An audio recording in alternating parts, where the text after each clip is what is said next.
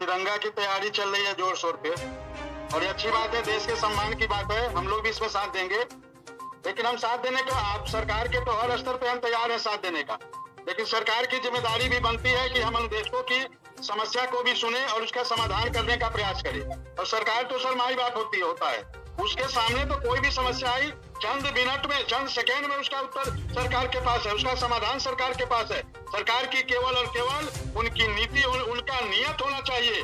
उनके अंदर मानवीय संवेदना होना चाहिए कि हमारी समस्या का समाधान करें और जितनी समस्या है हमें लगता है ट्रांसफ़र की समस्या तो लगभग समाधान हो चुका है आप लोग के आशीर्वाद से आप लोग के प्रयास से।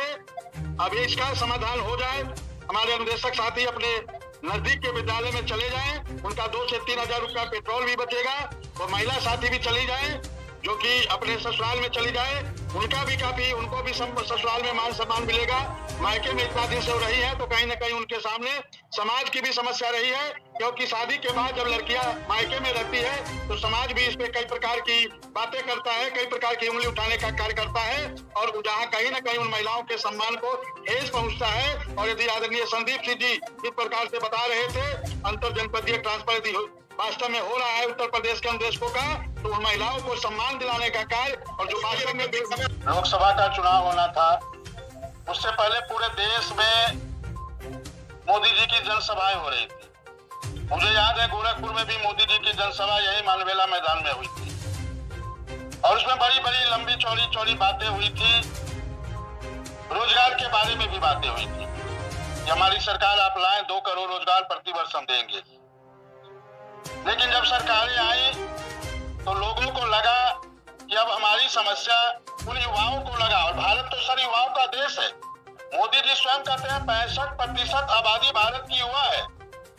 तो अभी भी सर मैं बताता हूँ जब मैं अपने विद्यालय के ग्राम सभा में जाता हूँ तो देखता हूँ जब जिस घर में गार्जियन 18, 20 साल 25 साल 30 साल का व्यक्ति वही खाट पर लेटा हुआ है। न गंजी है, न बंडी है। अब आप बताइए, भारत युवाओं का देश है। लेकिन युवा किस प्रकार से अपने घर में बर्बाद हो रहे हैं, सरकार को इसकी चिंता नहीं है। अरे, यदि युवा का देश है भारत तो सरकार को इसकी चिंता करनी चाहिए कि वो घर में बैठा हुआ व्यक्ति अपना समय वो पबजी खेलने में ना व्यक्त करे, ताश खेलने में ना व्यक्त करे। मैं जाता हूँ, सर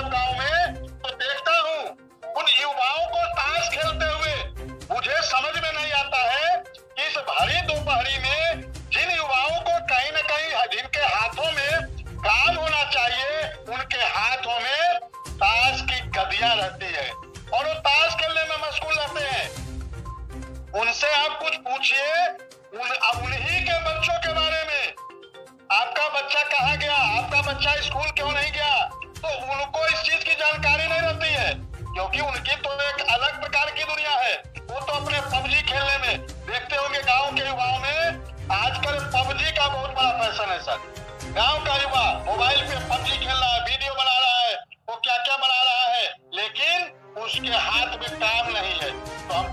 से कहना चाहेंगे। यदि 22 करोड़ लोगों ने सिर्फ़ आठ वर्षों में, और मोदी जी आप तो दो करोड़ प्रति वर्ष दे रहे थे। यदि दो करोड़ रोज़गार प्रति वर्ष दे दिए होते तो आज बाईस करोड़ युवाओं में से सोलह करोड़ युवाओं को रोज़गार मिल जाता। और किस प्रकार से उत्तर प्रदेश के विद्यालय में अनुदेशक में हाल है सर, ये किसी से छुपा नहीं है। और आपने जो डिबेट के माध्यम से आज लगभग नौ महीने से ऊपर हो गए ये दसवां महीना प्रारंभ हो गया है। और डिबेट के माध्यम से जिस प्रकार से आपने अनुदेशकों की पीड़ा को, आज उत्तर प्रदेश के अनुदेशक को जानता कौन था? आज तो सिर्फ़ बातें होती थी तो शिक्षा मित्र की बातें होती थी। अनुदेशक को कोई जानता नहीं था। इन छुटवैये लोगों पे हमें कोई कमेंट नहीं करना है। आने वाला समय अनुदेशक खुद जवाब देगा ऐसे लोगों को, और उनको लगेगा ये जो तथाकथित लोग हैं इनको ये बुद्धि से पैदल है ये आज के कालिदास है इनको समझ में नहीं आता है कि क्या करना चाहिए खैर हमें इससे कोई मतलब नहीं है हमारा काम है काम करना हम अनुदेशक हित में लगातार काम करते रहेंगे कोई साथ आए या ना आए इसकी चिंता मुझे नहीं करनी है यदि भगत सिंह बना हूँ चंद्रशेखर आज़ाद बना हूँ तो स्वयं बना हूँ कोई साथ आए या ना आए अनुदेश जीतने का बहुत बड़ा हमें कोई तमगा दे दोगे आप? समझ रहे और आपकी जीत हो जाएगी तो ठीक है। विक्रम सिंह, ऐसे में शिक्षक का सम्मान, शिक्षक का मेहनताना पढ़ाई का स्तर सुधरेगा कैसे? सर, आज शिक्षा का स्तर हम लोग तो सर 2013 से बेसिक शिक्षा विभाग में है। और हम लोग देख रहे हैं जिस प्रकार से शिक्षा का स्तर गिर रहा है। हमें तो लगता है चार पाँच सालों के बाद ब्लैक बोर्ड पे कोई पढ़ाने वाला क्योंकि जिस प्रकार से आज शिक्षा का स्तर गिर चुका है, बच्चों के अंदर नॉलेज की इतनी कमी हो गई है और अध्यापक का भी सम्मान गिरा है, सर। ऐसा नहीं है। पहले जब हम लोग पढ़ाई करते थे, हम लोग भी सरकारी स्कूल में पढ़ाई करते थे। सरकारी स्कूल के हम लोग भी प्रोडक्ट है।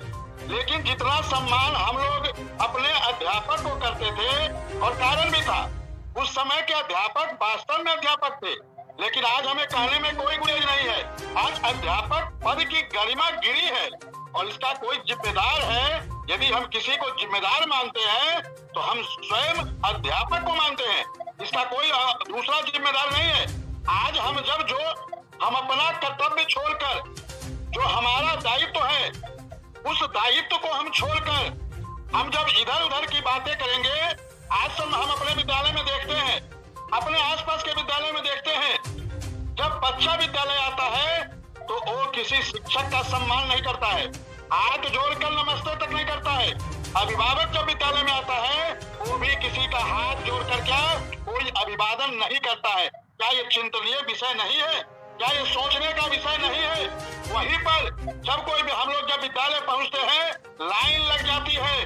बच्चे आते हैं, मना करना पड़ता है कि अरे पैर मत छुओ, लेकिन लगातार एक से दो मिनट में सैकड़ों बच्चे आते हैं पैर छूकर चले जाते हैं। ऐसा क्यों? इस पे विचार करना पड़ेगा।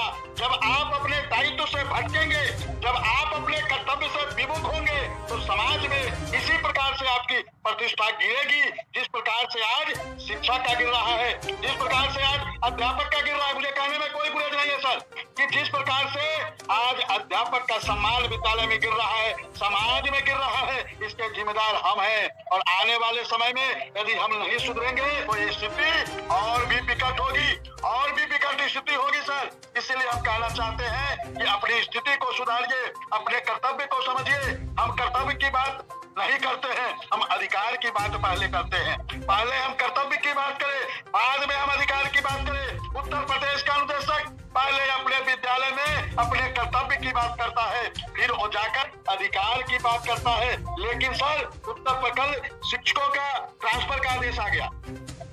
शिक्षकों का ट्रांसफ़र का आदेश आ गया है। हम लोग का भी दो चार दिन में आएगा, ऐसी सूचना मिल रही है कि हम लोग का भी नियमावली बन रहा है। हम लोग का भी आदेश, शासनादेश ट्रांसफ़र का आएगा और लगातार जिस प्रकार से आप लोगों ने हम लोगों की बातों को शासन सत्ता तक पहुँचाने का कार्य किया है जिस प्रकार से आदरणीय सुरेंद्र दुबे सर ने, आपने सर संदीप सिंह जी से बात की है, आदरणीय विजय पाठक जी से बात की है, दीपक कुमार जी से बात की है, विजय किरण आनंद जी से बात की है, और हमें लगता है कि एक हफ़्ता के अंदर अनुदेशकों का ट्रांसफ़र का भी आदेश आने वाला है, वो आदेश आएगा, और ये आदेश आएगा तो उत्तर प्रदेश के हज़ारों हज़ारों अनुदेशकों का जो सौ से डेढ़ सौ किलोमीटर की दूरी तय करते हैं। और हमें तो लगता है, सर, अंतर जनपदीय ट्रांसफ़र की भी बातें लगभग फाइनल हो रही है, क्योंकि परसों जब हमारी माननीय संदीप सिंह जी से बात हुई थी, हमने इन दोनों मुद्दे पे चार से पाँच मिनट उनसे बात किया था। काफ़ी अच्छे ढंग से उन्होंने हम लोग की बातों को सुना और उन्होंने कहा कि हम दोनों ट्रांसफ़र के बारे में दीपक कुमार जी को बोल दिया हूँ, विजय किरण आनंद जी को बोल दिया हूँ, आप लोग उनसे बात करो और आपका ट्रांसफ़र होगा। तो इस प्रकार के जब मंत्री आते हैं, इस प्रकार के जब अधिकारी आते हैं, जिस प्रकार से विजय किरण आनंद जी है, जिस प्रकार से दीपक कुमार जी है, इस प्रकार के जब क्रियाकलाप करने वाले अधिकारी आते हैं तो हमें लगता है और जितना प्रयास आप लोगों ने किया है, सर, वो तो हम लोग लगातार देख रहे हैं। उत्तर प्रदेश के अनुदेशक देख रहे हैं। कुछ की बात छोड़िए सर। हमें इसमें समय बर्बाद नहीं करना है। आती चले बाज़ार। और आगे जो है, आप समझिए इस डिबेट में लोग जुड़ने वाले लोग समझे। और ये कहावत है, इस दिल में फपोले पड़ गए। सीने की आग से और घर को आग लग गई। घर के चिराग से घर को आग लग गई। घर के चिराग से इसको समझने का कार्य करे उत्तर प्रदेश का अनुदेशक। अभी भी कुछ नहीं बिगड़ा है। अभी भी सब कुछ आपके समक्ष है। आप चाहेंगे तो अभी भी सब कुछ होगा। एकजुट होकर इस लड़ाई को हमको लोग को जीतना है। और जब तक अंतिम लक्ष्य हमारा नियमितीकरण न हो जाए, तब तक हमको अपने पद से विमुख नहीं होना है। और अर्जुन की तरह उस मछली की आँख को जैसे अर्जुन ने देखा, उसी प्रकार से हम लोग को नियमितीकरण का आदेश को देखना है। नियमितीकरण की बात करनी है।